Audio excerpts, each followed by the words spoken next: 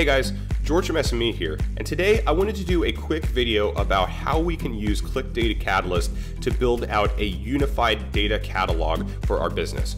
So if you didn't already know, Data Catalyst is a highly performant and highly managed data lake where you're able to connect to multiple different sources, onboard your data as well as metadata and statistics about your data and build out these entities where your users can go in and shop for trusted data sources and publish them to their downstream applications. Now, I like to consider it a one-stop shop, but in order for it to be a one-stop shop, you need to have all of your data in here how do you get their data into Data Catalyst? Well, it's a lot like QlikView and Qlik Sense in that you have these file loaders and data source loaders where you're able to connect to the underlying data and then bring in uh, either the data itself or you can actually profile it at the source and bring in the metadata statistics.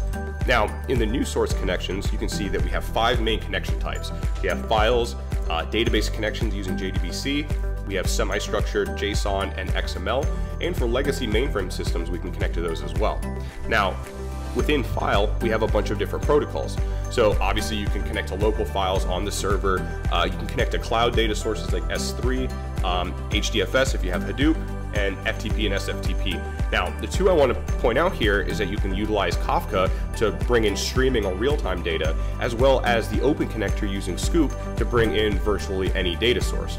Now, moving over to the JDBC, we can connect to any database that we have a driver for. So if you go over here to the source type, you see that we have some out of the box, but I've actually added some as well. I wanted to connect to our MemSQL database, so I added a MySQL driver, and that allowed me to connect to MemSQL. So the great thing about this, guys, is that you're able to connect to all of your different data sources and bring it into this one data lake where then you can apply post-processing rules and really profile your data to make sure that it is perfect so that way your end users can just come to your one-stop shop and then build out their applications.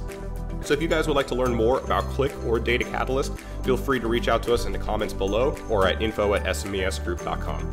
Bye guys you.